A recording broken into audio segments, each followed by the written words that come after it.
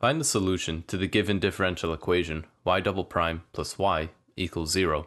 So first we need to create our auxiliary or characteristic equation where r represents the amount of derivatives being taken on the variable y. So y double prime would be r squared, y with no prime would just be 1, but if there were y with 1 prime then it would just be r. And we set that equal to 0. So to get the root we have to set r squared equal to negative 1 by bringing it to the right hand side. And the only thing we can do at this point is take the square root of both sides. So that leaves us with r equal plus minus square root of negative 1.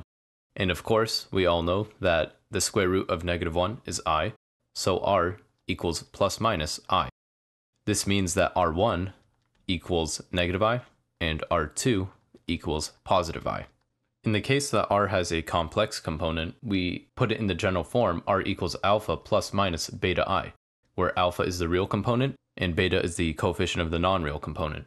So in this case, we can quickly tell that alpha equals 0, since there is no real component here. However, there is technically a coefficient for i, where it's just plus minus 1. So we just set beta equal to 1, because 1 times i is still i, and no matter what you want a beta, beta can never be 0. So in this situation, y homogeneous equals e to the alpha t times c1 cosine of beta t plus c2 sine of beta t. C1 and C2 allow for infinite solutions, and we can see in this situation that e to the alpha t is equivalent to e to the 0 times t, which is e to the 0, and that equals 1, as any number to the power of 0 equals 1.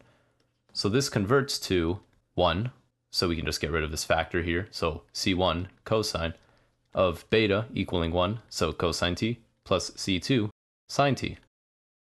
And that's it. If you have any questions, please leave in the comments below, and good luck.